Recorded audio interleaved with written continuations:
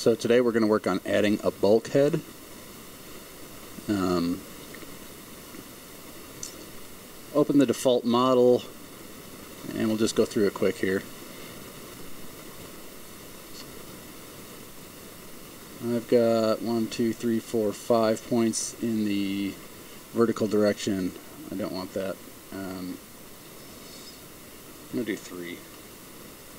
It'll be easier to show what I'm doing with just three. Okay. So, uh, bulkhead is a support section that's going to run across the boat. So a lot of times if you want to get your beam measurement from say your starboard side your port side, you want to find out the width, you want to add a structural frame that goes across the boat, you want to add a bench seat that goes across the boat. We're just we're splitting the boat, we're going across it. Um, FreeShip doesn't lend itself especially well to do this. Uh, there's different ways of doing it. People do it different ways. So I'm going to show you the two different ways that I know how to do it. So I'm going to click on some of these points here.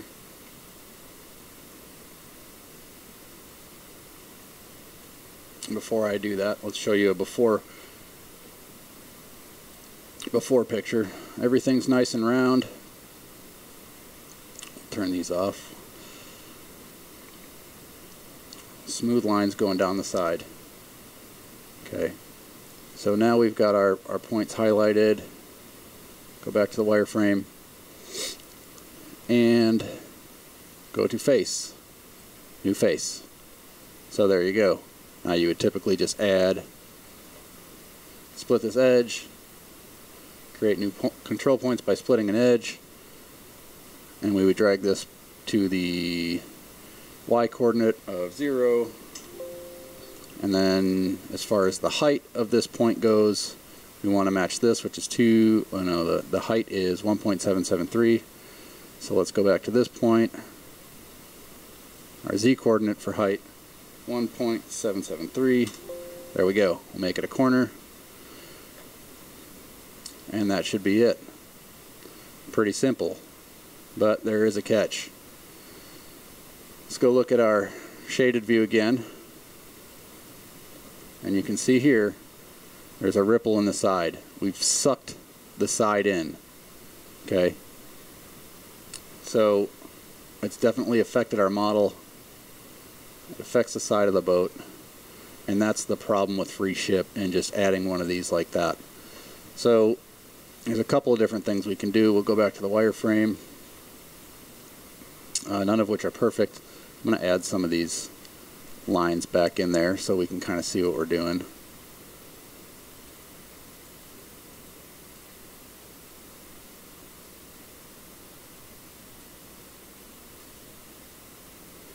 Okay. So we've got the green lines, and the green lines are showing an error, basically. I'm going to deselect that point that I've got highlighted. So now I've got those two lines highlighted. Go back to the shade. Let's see what happens if we take that, those two points, and we crease that edge with this button in the upper right hand corner. Crease it. Look at that.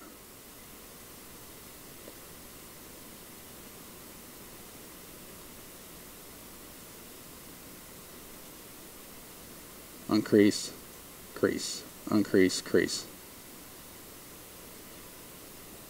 So you can see it didn't, we've still got a gap here at the bottom. It didn't pull all that out. It didn't pull our hull out of whack. It still looks like it's okay. So there we've got a bulkhead created. Um, let's get out of the shaded view, back to the wireframe view. It looks like our body lines are still all straight. Doesn't look like it pulled anything out of whack like it was initially. And if you see on this layer piece here, let's deselect these. It's not the one I wanted to select. Let's see if I can get this piece here. Okay. Now it looks like that layer Doesn't go out to our control point. Let's see if I can get you this. See what I'm seeing here. This is a control point I'm talking about. You can see the yellow the yellow grid. We've got our layer selected. It does not the yellow grid does not extend out to there. So our layer should stop at the curvature of the hull here. And just to make sure of that, we're going to auto group this layer, make it its own layer. Then we'll go to the layer, dialog, layer 1, we'll just call it a bulkhead.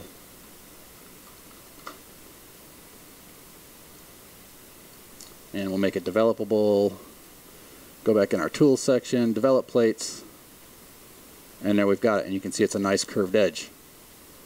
So that should be good. Um, this is a fairly simple hull we're dealing with without a lot of um, longitudinal lines in it. But let's see what happens if we do it with one that's got got more more lines in the hull. So we'll open up a new model. Current model has been changed. I want to save it. No, I don't. Let's do what we originally had here. I'm going to select all these.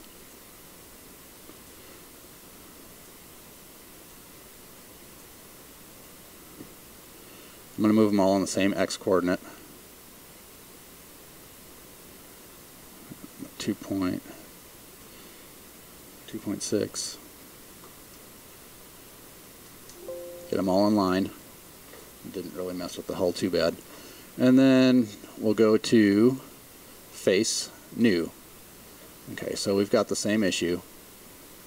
Um, view it in wireframe, or shade, sorry. Can see that we messed up our hull here. Development check. Can sometimes show that better. We've definitely warped the hull. You can see by the darker shaded area up here. Maybe if I put it in full screen it'll be more obvious. But we've sucked that in right along this, this edge here. So let's see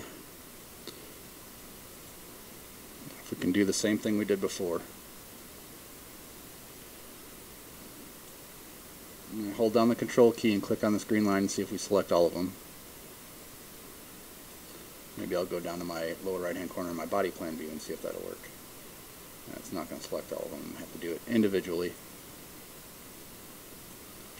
Now we'll watch this shaded view up here and we'll see if it changes when I go to the crease.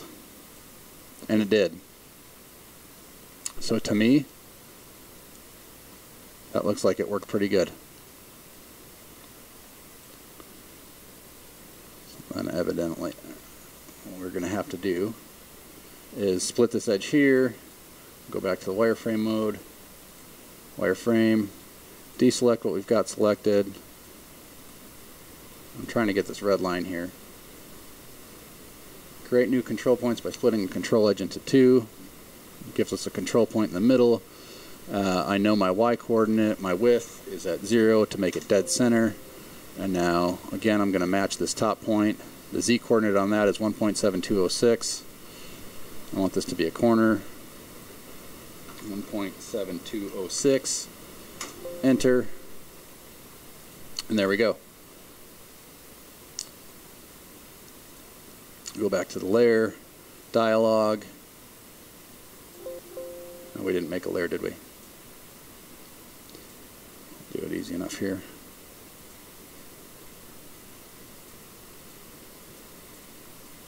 Got it. Auto group. It's layer 1. Layer 1 is the bulkhead.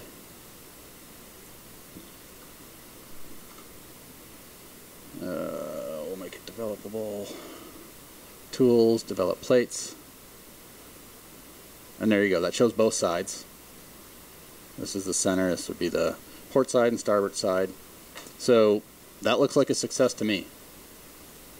So there's our bulkhead. So as you can see from these pictures, this method will only work if you have rounded bilges in your boat. If you have a hard chine boat, um, like most of these small plywood boats that I build, this method will not work. Um, it will distort the side of the hull, as you can see in these pictures. It'll take the round line and make it straight. Um, so if you're following your gunnel from the front to the back, um, instead of having a nice rounded line, right where your bulkhead is inserted, um, will be a sharp crease.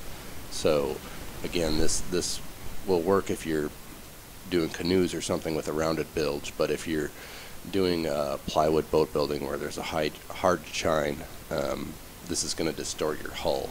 So the next method will show um, how to do that, where you're actually creating a separate piece that's not connected to the hull, and it's the only way that I use for making my bulkheads on these plywood boats. Okay, so here's the alternative. I can go to point up here and add a point. It's automatically going to add this back on my 0, 0. So see here on the right on the profile, profile view, this is 0, 0 here on the grid. So I'm essentially going to add three points. So I'll move this one over here, point, add, take this one, move it over here, just to get it kind of close to where I'm going to use it. Point, add. Get it kind of close to where I'm going to use it here. Again. Okay. So, and the reason I messed with those numbers, you'll see here, it makes it easier for me to match up this point. Basically, I'm going to try to set this point here right next to this point. Then this point is going to go next to this point, if we're looking in the profile view, and then this one will go next to this point. So we're going to set the points pretty much on top of each other. So my x coordinate on, on this particular point that I'm dealing with up here on the perspective view, put this one back, 2.5. We want it just to, well, we'll leave it at 2.5. The y coordinate is at 0 right now, but we want it right next to this one. So this y coordinate is 1773. I'm going to make this one 1.7, we'll call it. That way it's just a little inside. You know, I don't want my, uh, my panels uh, running into each other. You know, if this is quarter inch thick plywood, I would normally subtract a quarter of an inch from that Y point. Um, that way I know my layers don't overlap. So we'll go 1.75 on the Y on that.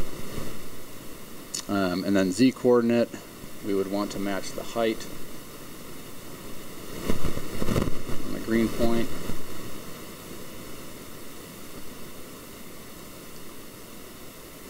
One point seven two oh six.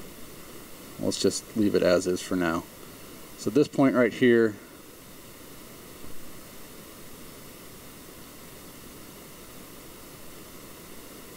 my y is 1.2778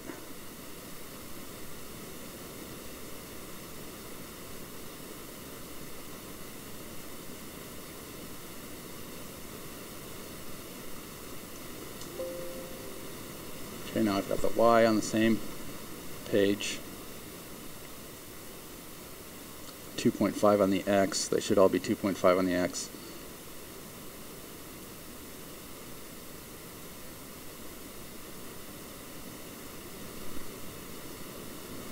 Leave that one there.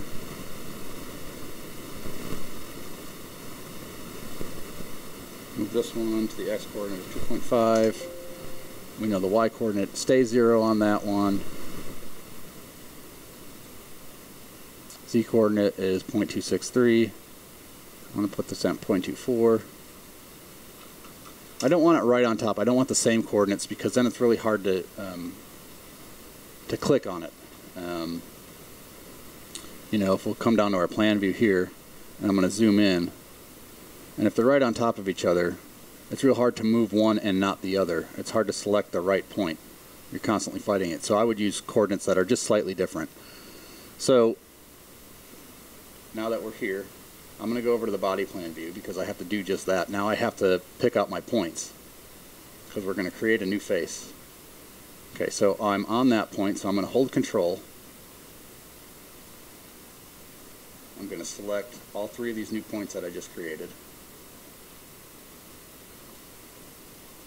I'm going to go to face, new.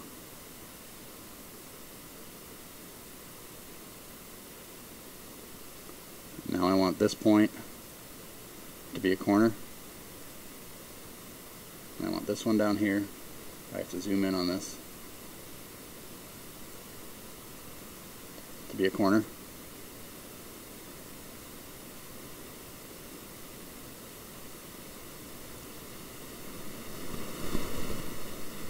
Let's mess around with our perspective drawing a little bit. Okay, so by not making this point a corner, this has a natural curve to it. And it, since our points are so close, that curve should be, since this corner point, this point, and this point are all so close to the original points of the hull, that curve should be right on the money or very close to it. One way you can check that is by going to your shade and you'll see on the outside of the hull you can see a little lip here. So we're actually overextending slightly. We have brought our bulkhead is actually sticking out of the side of the hull.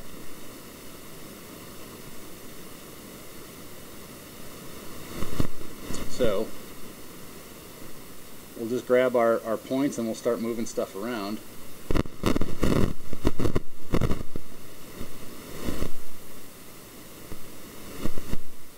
Until it's not sticking out anymore. It's sticking out there.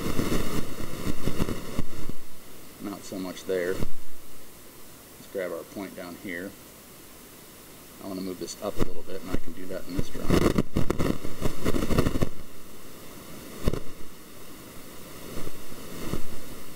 Now let's check our shaded model again and we're still out a little bit up at the top here. So I'm going to grab this point, can do it in the body plan view if we need to.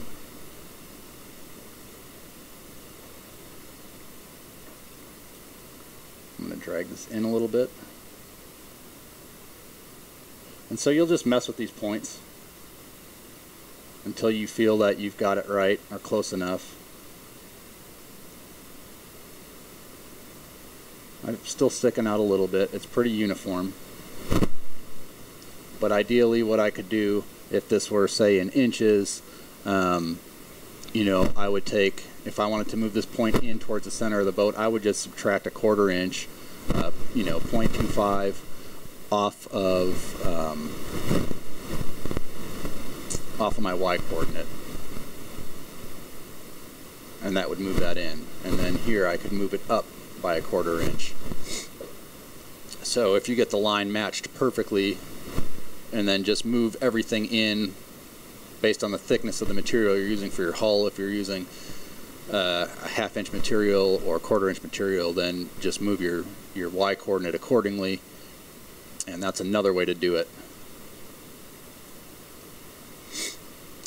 So I hope those those different ways make sense. There are certain applications where I have had to use this method um, by creating new new points, new control points altogether. Um, it's really not that bad. They both work fairly well. Um, but the nice thing about this one is that you can really control um, the gap in between your panels. And it doesn't it for sure won't make your hull it won't affect the outside shell of your hull at all because it, it, it doesn't connect with the hull. The computer doesn't think it's connecting with it like it does with the other method. So I hope that helps with bulkheads